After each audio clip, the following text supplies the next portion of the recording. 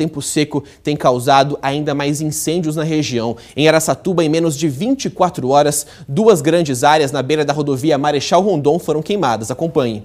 No primeiro caso, uma extensa área de pastagem de uma propriedade rural particular foi destruída. O fogo, que começou no domingo, foi controlado depois de mais de cinco horas de trabalho do Corpo de Bombeiros. Mas com o tempo seco, outros focos de incêndio foram registrados no mesmo local. Ontem à noite, esta outra área também foi queimada. O fogo destruiu cerca de um quilômetro e meio de pasto de uma fazenda. Agora pela manhã, as chamas recomeçaram. Por isso, os bombeiros precisaram retornar à propriedade.